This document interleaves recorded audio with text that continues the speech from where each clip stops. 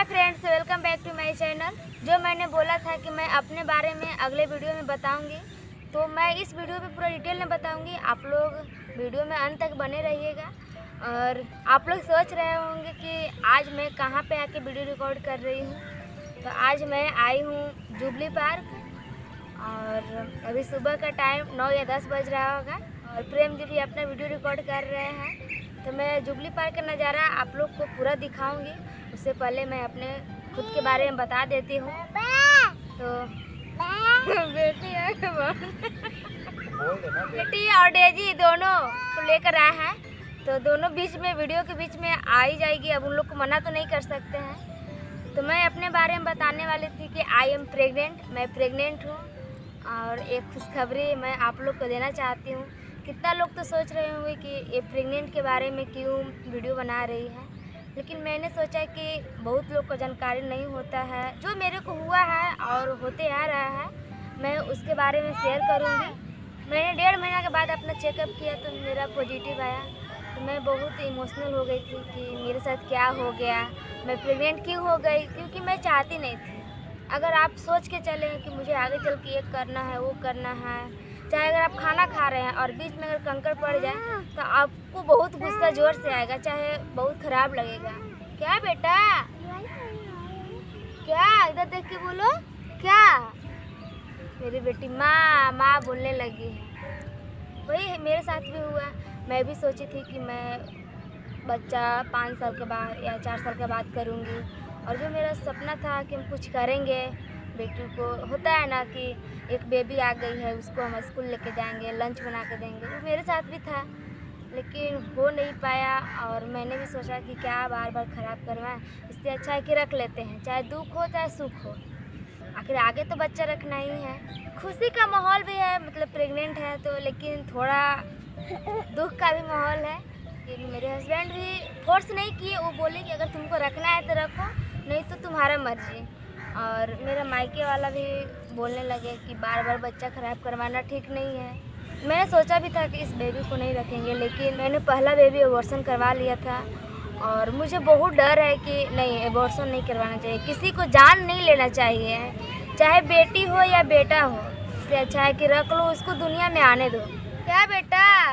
ये मेरा पर्स को एकदम तोड़ दिए निकाल दी है। अब कैसे इसको लगाएँगे, हैं? मैं बहुत जल्द प्रेग्नेंट हो गई हूँ। मेरी बेटी का अभी डेढ़ साल से ज़्यादा हो रहा है और अभी मेरा थ्री मंथ ख़त्म हो गया है। चल नहीं रहा है, ख़त्म हो गया है। और इस बार मुझे बहुत ज़्यादा झेलना पड़ रहा है। जब मैं एक महीना का प्रेग्नेंट थी तो मुझे महसूस नहीं होता था। सिर्फ़ लगता था कि उल्टी करेंगे उल्टी करेंगे। लेकिन मेरे को नहीं मालूम था क्योंकि मेरा दो तीन महीना से जो मेंस है, आगे पीछे हो रहा था इसलिए। तो इसलिए मैं सोची कि इस बार भी शायद वैसे ही होगा। आप लोग सोच रहे हो कि मैं कहानी बता रही हूँ, लेकिन मेरे साथ जो हो रहा है मैं वही शेयर कर रही हूँ। दूसरा महीना का पंद्रह दिन बचा तो लास्ट लास्ट होते होते मेरा तबीयत ख़राब हुआ। डॉक्टर पास भी गए डॉक्टर पास गया तो डॉक्टर बहुत डांटने लगी, बोलने लगी कि इतना जल्दी क्यों रखी? इससे भी तीन साल के बाद बच्चा रखना चाहिए। दूसरा महीना में मेरा लास्ट मंथ में इतना ज़्यादा तबीयत ख़राब हो गया मेरे को खुद नहीं पता चल रहा था कि मेरे साथ क्या हो रहा है। लग रहा है कि सिर्फ़ पैर हाथ सुन हो गया है और पैर हाथ में एकदम पूरा सह नहीं लग रहा है। ऐसे होते होते मैं कुछ देर तक सहते रह गई और मुझे चिकन बनाना था। मेरे हस्बैंड चिकन लाए थे तो मैंने सोचा कि जा रही बना ले रही हूँ। मैं अपने से खुद से बनाऊँगी। लेकिन नहीं जब सहाया तब मैं अपने हस्बैंड को बोली, मुझे चक्कर जैसा लग रहा है। हमको उतना महसूस नहीं था, लेकिन प्रेम जी ही बोल रहे थे कि अगर तुम पाँच मिनट और नहीं बोलती तो तुमको डॉक्टर पास लेके जाना ही पड़ता। जब मेरा तबीयत खराब हुआ, उसी दौरान मेरे हस्बैंड ओ आर एस घोल बना कर दिए वह किस तरह से बनाया जाता है मैं अगले वीडियो में बताऊँगी, क्योंकि मैं जूली पार्क में आई हूँ तो मैं तो बता नहीं सकती हूँ। अगर आप पानी नहीं पीना चाहते हैं तो आप एक लीटर पानी में ओ आर एस घोल बनाकर रख लीजिए। उसी को पानी की तरह पीजिए।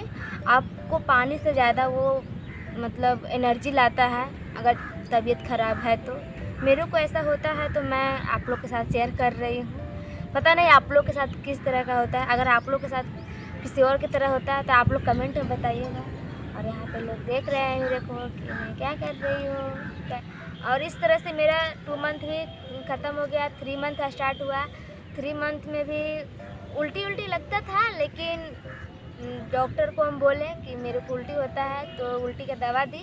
लेकिन इस बार होता क्या है मेरे साथ कि उल्टी कम, लेकिन कमज़ोरी इतना ज़्यादा महसूस होता है। देखने में तो मैं नहीं लग रही हूँगी कि मैं इतना ज़्यादा कमज़ोर हूँ, कि हेल्दी भी हूँ, लेकिन अंदर से मैं कमज़ोर जब उल्टी करती हूँ, चाहे खाना नहीं खाती हूँ, उस समय बहुत ज़्यादा महसूस होता है। इतना महसूस होता है कि लगता है कि दिन भर सोए रहे। मैं सुबह में उल्टी की दवाई कुछ खा कर खा लेती हूँ और आज भी मैं खा कर आई हूँ। उल्टी की दवाई खाने से होता क्या है कि हमको उल्टी नहीं होता है। किसी लोग को होता है और तनु के टाइम पे भी मेरे को बहुत ज़्यादा उल्टी होता था। दिन भर में चार बार, पाँच बार इस बार कम उल्टी होता है, एक बार या दो बार ही होता है, लेकिन कमज़ोरी इतना ज़्यादा इतना ज़्यादा थकान महसूस होता है कि कुछ कि कुछ करने का मन नहीं करता है। थ्री मंथ तक बहुत ध्यान देना पड़ता है, क्योंकि अब थ्री मंथ या फोर मंथ तक बच्चा मतलब बच्चा का ग्रोथ होता है तो इसलिए खाना पीना पे सारा चीज़ पर ध्यान देना रहता है। अगर आप अच्छी तरह से ध्यान नहीं देंगे तो एबॉर्सन होने का डर रहता है। और बहुत लोग को होता भी है। तो इसलिए अगर आप प्रेग्नेंट है तो आप थ्री मंथ तक बहुत अच्छा से ध्यान दें। अरे बेटी हटो ना।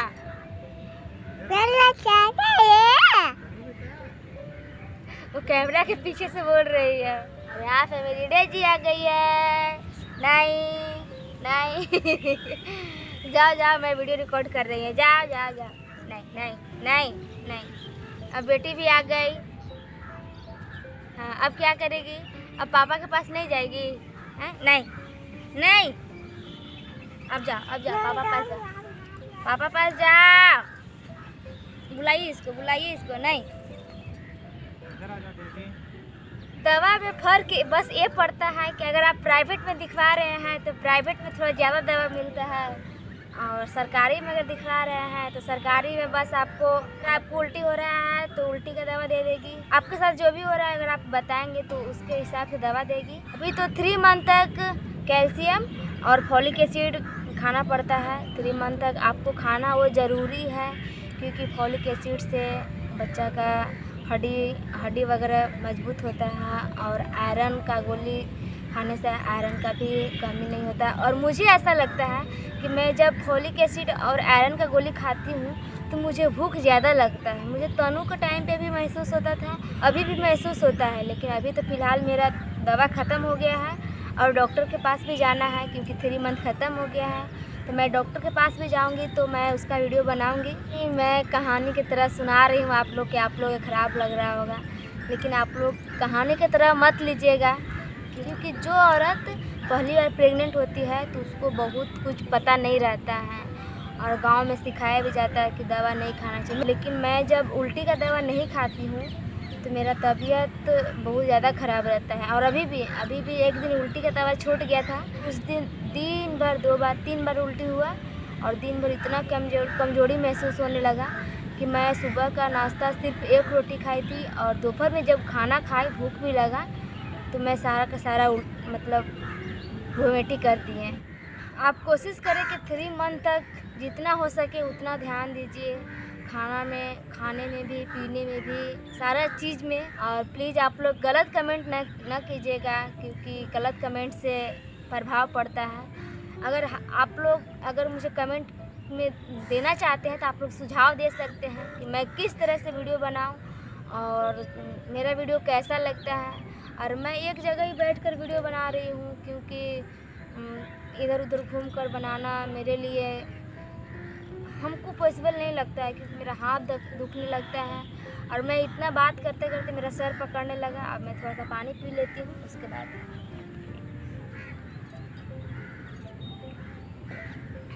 बोलते बोलते मेरे को प्यास लग गया और मेरा सर भी हल्का हल्का दर्द देने लगा। यही होता है मेरे साथ। मैं ज़्यादा बात कर लूँगी या पाँच से दस मिनट तक टहल लेंगे ना तो मेरा पैर और लगता है कि अब अब दम आराम करना चाहिए।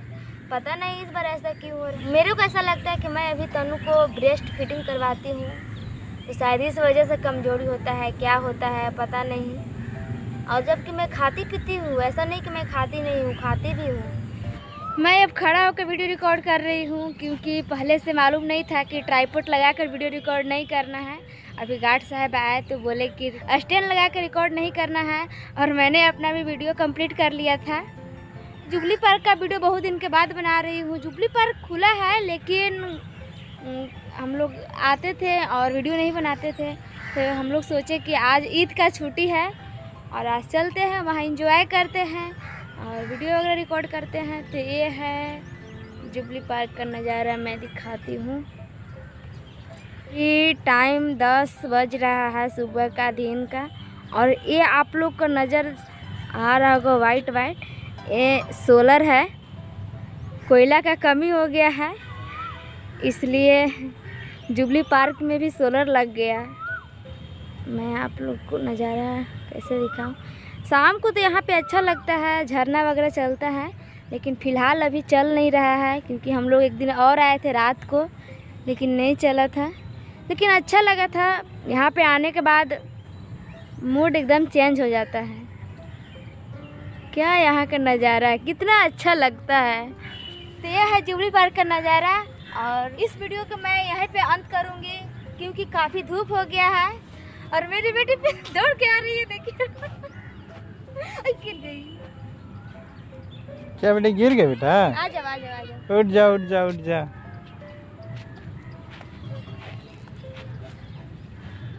तो मैं वीडियो के यहीं पे अंत करती हूँ। मिलते हैं नए वीडियो के साथ।